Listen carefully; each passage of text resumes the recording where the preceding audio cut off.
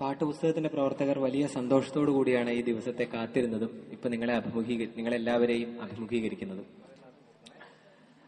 കുറെ കാലത്തെ കുറെ പേരുടെ നിസ്വാർത്ഥമായ പ്രവർത്തനത്തിന്റെ ഒരു കൂട്ടായ്മയ്ക്ക് ഇത്തരത്തിലുള്ള സഫലമായ ഒരു കൂടിച്ചേരലുണ്ടാവുമെന്ന് ഞങ്ങൾ സ്വപ്നത്തിൽ പോലും ഒരു സമയത്ത് കരുതിയിരുന്നില്ല.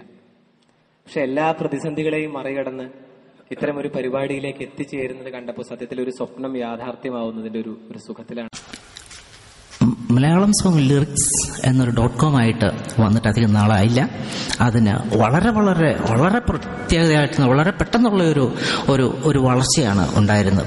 രണ്ടായിരത്തി അഞ്ചിലോ രണ്ടായിരത്തി ആറിലോ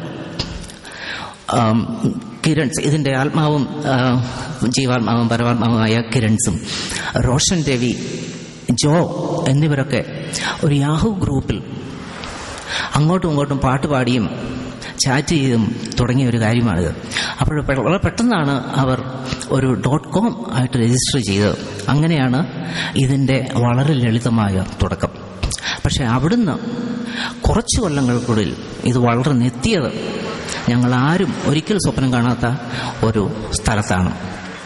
അതേപടി ഇന്ന് മലയാള സോങ് ലിറിക്സ് ഡോട്ട് കോം ഈ പോസ്റ്ററിൽ കാണുന്നത് പോലെ ഒരു ഡാറ്റാബേസ് ഒരു വൻപിച്ച ഡാറ്റാബേസായി മാറി അത് ഉദ്ഘാടനം ചെയ്യപ്പെടുന്ന മംഗളകർമ്മമാണ് നടക്കുന്നത്. ഇതിൽ ഈ കഴിഞ്ഞ കുറച്ച് കൊല്ലങ്ങളിൽ വന്ന മാറ്റങ്ങൾ എന്താണെന്ന് വെച്ചാൽ പതിനയ്യായിരം പതിനയ്യായിരത്തോളം ഗാനങ്ങളുടെ ലിറിക്സ് ഇപ്പോൾ തന്നെ ഞങ്ങളുടെ സൈറ്റിലുണ്ട് സാറ്. അത് കേട്ടോ? പ്രത്യേകിച്ച് അദ്ദേഹത്തോട് പറയാറുണ്ട് പതി- പതിനയ്യായിരം പാട്ടുകളുടെ ലിറിക്സ് ഇപ്പോൾ തന്നെ ഉണ്ട് അത് അനുദിനം വളർന്നുകൊണ്ടിരിക്കുകയാണ്. ചിലർ പ്രത്യേകിച്ചും ഇവിടെ ഇല്ലെന്ന് തോന്നുന്നു. ജിജാ സുബ്രഹ്മണ്യൻ എന്നൊരു കൊച്ചു വീട്ടമ്മ ഫോണിൽ എന്നോട് സംസാരിക്കുകയാണ്. ഒരു പത്ത് പാട്ടെങ്കിലും എഴുതി ചേർത്തില്ലെങ്കിൽ എനിക്ക് ഉറക്കം വരില്ല എന്ന്. അങ്ങനെ ലോകത്തിന്റെ പലയിടത്തു നിന്നുള്ളവരും ഇതിൽ വിവരങ്ങൾ ശേഖരിച്ചു കൊണ്ടിരിക്കുകയാണ് അനുദിനം ശേഖരിച്ചു കൊണ്ടിരിക്കുകയാണ് അത് പാട്ട് മാത്രമല്ല ഗാനങ്ങളുടെ ലിറിക്സ് മാത്രമല്ല സിനിമയെ സംബന്ധിച്ച എല്ലാ വിവരങ്ങളും അത്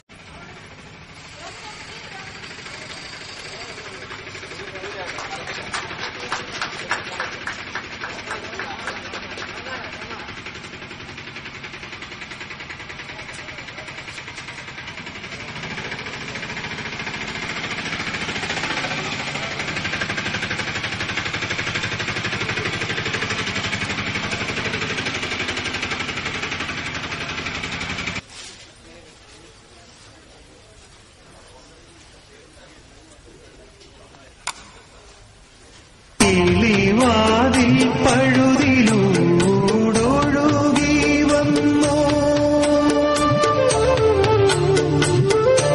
ഇത്രയും സിനിമകൾ ഇറങ്ങിയിട്ട്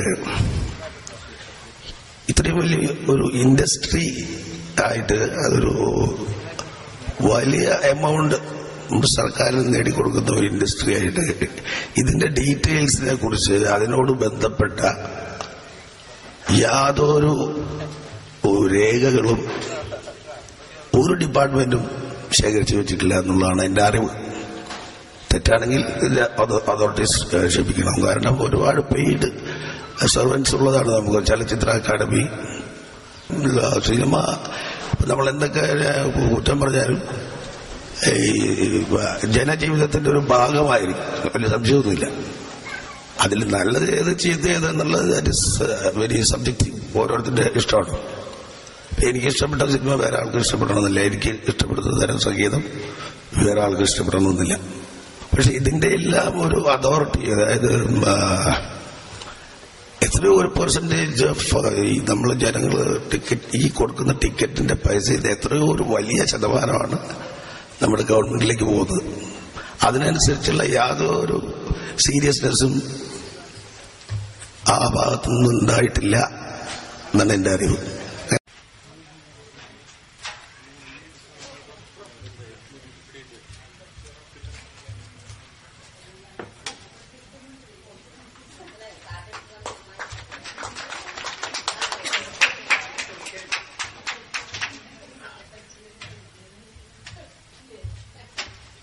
പ്രത്യേകിച്ച് നമ്മളെ സംബന്ധിച്ചിടത്തോളം മലയാളികളെ സംബന്ധിച്ചിടത്തോളം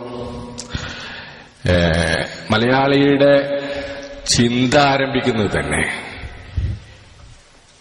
മലയാളി മോശക്കാരനാണ് എന്നുള്ളിടത്ത് മലയാളിയുടെ പൊതുവെയുള്ള ചിന്ത മലയാളി മോശക്കാരനാണ്.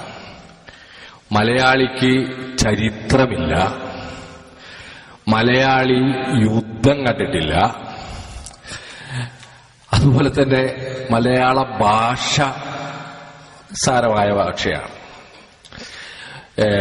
കൊച്ചു കേരളം എന്നാണ് നമ്മളെ കവികളും ബുദ്ധിജീവികളും കേരളത്തെ വിശേഷിപ്പിക്കുന്നത്. നമ്മുടെ കൊച്ചു കേരളം. അത് തന്നെ കേൾക്കുമ്പോൾ നമുക്ക് തോന്നുന്നത് വളരെ അപകർഷതാബോധമുള്ള ഒന്നിനും പറ്റാത്ത മനുഷ്യരാണ് എന്ന് നമ്മളോട് ആദ്യം നമ്മൾ തന്നെ സമ്മതിക്കുക. ഇവിടെ വേദിയിലിരിക്കുന്ന ജോൺസൺ മാഷിന്റെ ചിത്രമാണ് ഈ കാണുന്നത്.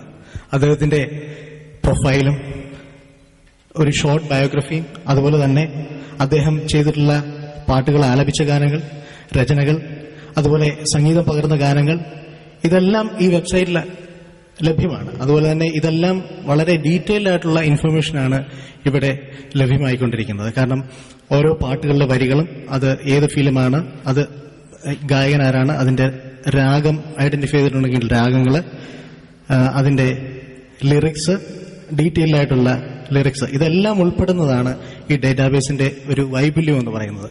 ഞാൻ പെട്ടെന്ന് കാണിച്ചത് ജോൺസൺ മാഷിന്റെ ചിത്രം എടുത്ത് തന്നെ അപ്പോൾ തന്നെ വെബ്സൈറ്റിലേക്ക് ഇട്ട് ലോകത്തിനെ അപ്ഡേറ്റ് ചെയ്യാൻ പറ്റുന്ന ഒരു ലൈവ് ഒരു മൂവ് ഇത് ഈ വെബ്സൈറ്റിലൂടെ നമുക്ക് സാധ്യമാണ് എന്നുള്ളത് കാണിക്കാൻ വേണ്ടിയിട്ടാണ്.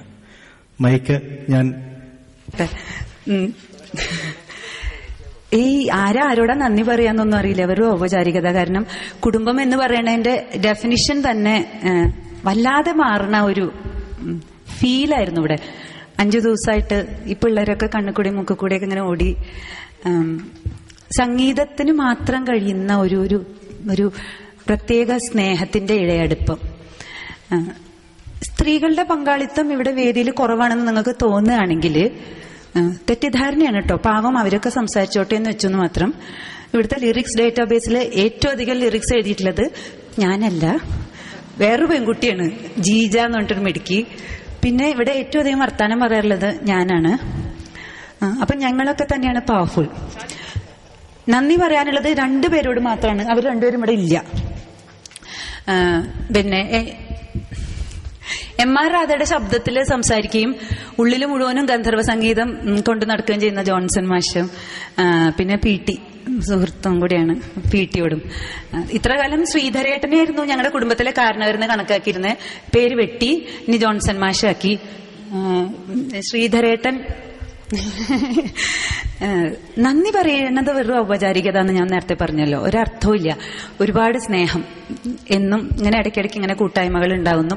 ഇരിക്കുന്നവരൊക്കെ നമ്മുടെ ഇതിൽ പങ്കാളികളാവുമെന്നും ഉള്ള പ്രതീക്ഷയോടെ. താങ്ക്